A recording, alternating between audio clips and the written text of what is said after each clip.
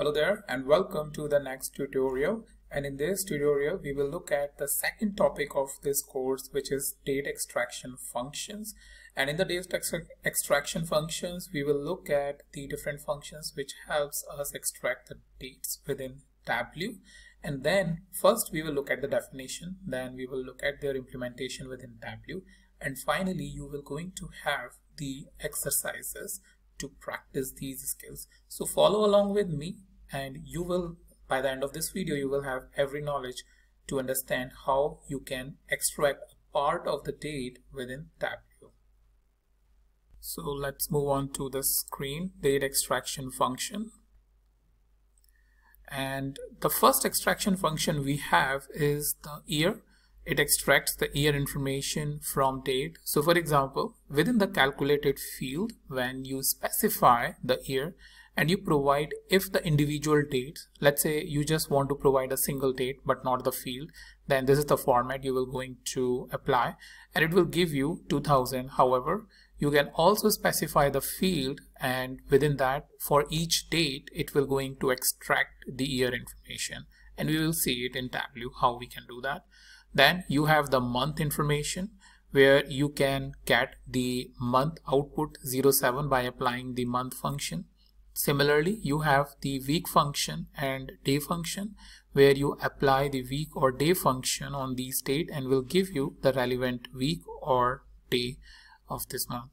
Then you have the date part function. It returns date as integer and extract the part of the date. So for example, date part and when you specify day, the only thing is uh, which is problematic here in this is the comma. After the day you will have the comma. So this is the small mistake which I did when I was presenting preparing this.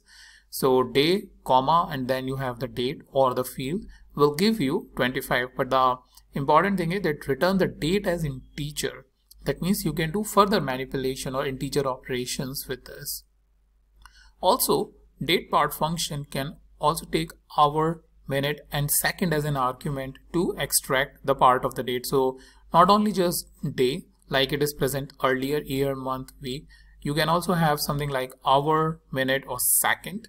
If you want to get that out as the integer, then you can get it.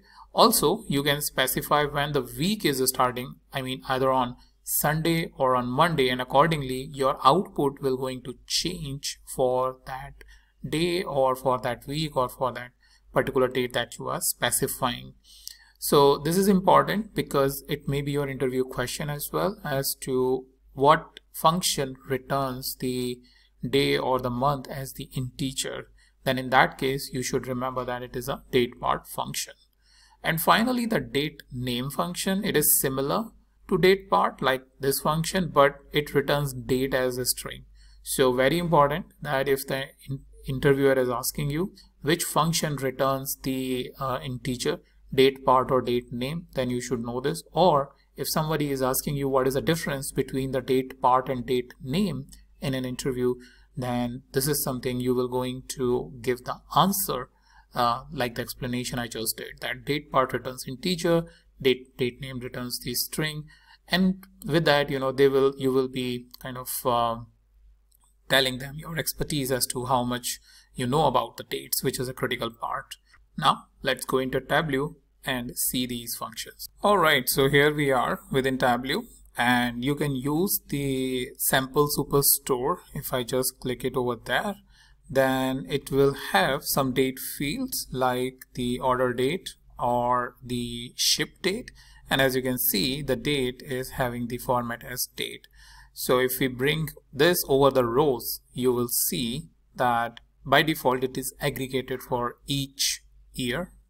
But if we choose every day, which is the lowest level of detail, then you will see that the different dates that it has, what we can do is just change this to uh, over here and you have this information about each day. So what I will do first is extract the year information and as an exercise what you need to do is extract the date and the month information. Alright let's move ahead. So with that I will first create a calculated field. And here I will just give it a name extract underscore year. And I will say year and provide the date which is order date. And if I click apply and OK then the extract year is present here. If I put it here you will see that by default it is taking it as the uh, visualization because this is more of a measure. And if you have one dimension and one measure a visualization will be created. So what we can do is we can convert it into a discrete. And uh, what you will going to see is uh, in some cases it is giving you the output and in some cases uh, it has uh, changed this because the sum is present so what we will uh, basically uh, put it over here is remove the calculation itself altogether by converting it into a dimension. All right um, so for each date it is showing you the value. So very quickly we will come and make it discrete.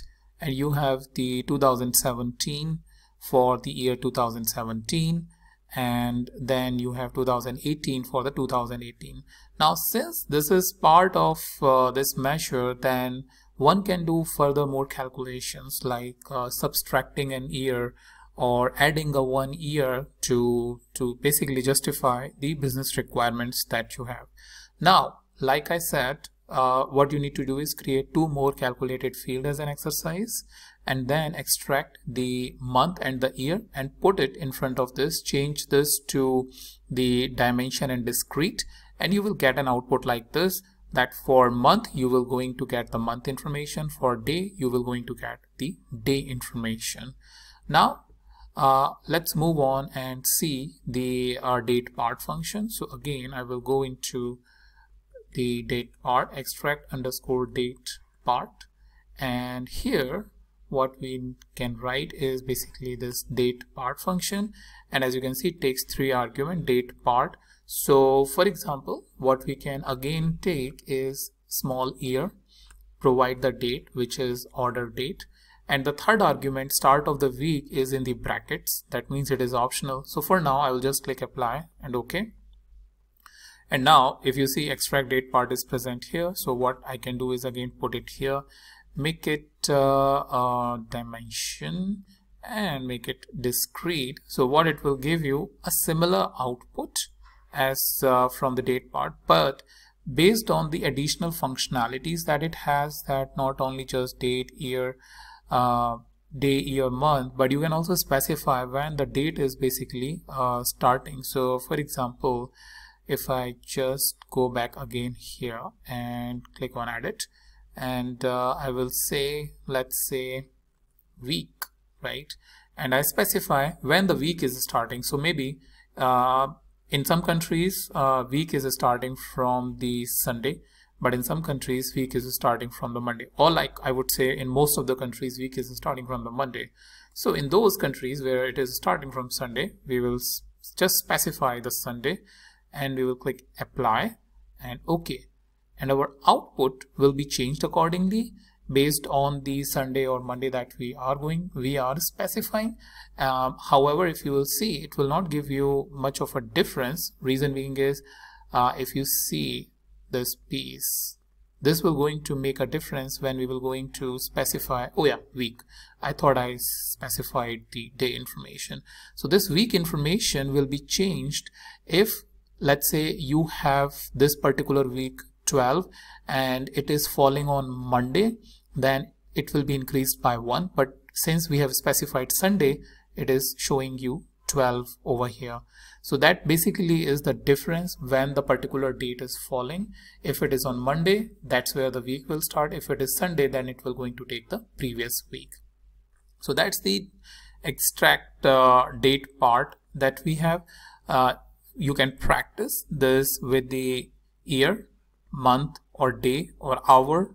If we specify hour in this case, what it will give us. Let's see this. But in this case, we don't have to specify Sunday and click apply and okay. So hour it will give us zero because what it takes is zero zero zero zero zero zero as the uh, start of the day if nothing is been specified so that's why we are getting it zero but in those scenarios where you have the actual hour actual minute actual second then you can basically take them out here in this uh, in this function.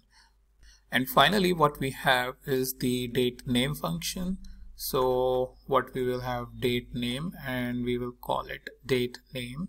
So we will specify the date part. Let's say the day is something that we are specifying as the date part day and uh, then the date. Date is let's say the order date and click apply and OK. So now you see the date name is coming over here. If this is as a dimension or the string you want then you use the date name. But if as a measure you want you will going to use the date part or the other date function that we have seen like the year month or day or the week. So in this case earlier if you remember we have changed the extract year or the extract date part into the dimension. But in this case we don't have to do that. We can simply put it and it will give us the day information. So now you can practice the date name uh, function as well for the year or the month or the week. After that, for further practice, what you can take is the ship date. And for that ship date, what you can do is uh, practice these functions and uh, basically become uh, having a good understanding of what these functions are and how they basically perform. If you want to take your practice to a next level, then what I suggest is based on the new calculations that you have created you know do a subtraction like uh, ship date day minus uh, order date. So for example when the order was placed and when the order was shipped if you subtract the day you will going to get how many days it takes for a company to uh, ship the product. So that's the next level of exercise that you can practice once you get an understanding how to extract day or how to extract week how to extract year information so that's about how you can uh, utilize or how you can perform the action with the help of these function. Now in the next topic we will going to look at the date functions which is helpful in creation of the dates.